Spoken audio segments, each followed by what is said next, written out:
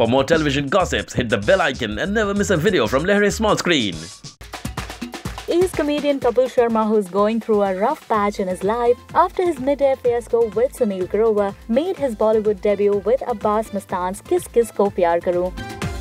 And guys, let us tell you, Kapil will be seen again on the silver screens with his next film Firangi. Yes, few days ago, Kapil took to social media and posted something very special around my movie that I would be announcing tomorrow 3 pm. Excited, hashtag special moment, hashtag Firangi movie.